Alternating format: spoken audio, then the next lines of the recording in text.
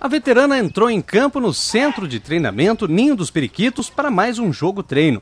Desta vez, a Caldense enfrentou o time paulista Itapirense, que disputa a segunda divisão do Paulista. A gente vai procurar cada jogo treino fazendo as correções, né? mas eu acho que a gente está no caminho certo. Independente de resultados, os dois times vieram para estudar posições e analisar jogadas. O treino é um preparatório para a Caldense disputar o Mineiro de 2014 e o Itapirense, o Paulista do próximo ano. Nós estamos trabalhando desde o dia 11 de novembro, praticamente montando o elenco. Né?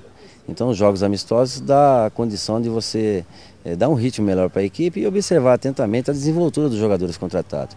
Então, sem dúvida, é de muita importância. Embora o resultado final não tenha tanta importância, a Caldense sai de uma vitória de 1 a 0 do último jogo treino contra o Friburguense, time da primeira divisão carioca. Vencer nesses preparatórios tem melhorado o espírito dos jogadores dentro de campo. Importante ter uma boa performance, né? E eles tiveram. E com isso conquistaram a vitória. Né? Então isso não resta dúvida que para início de trabalho né, transmite uma confiança né?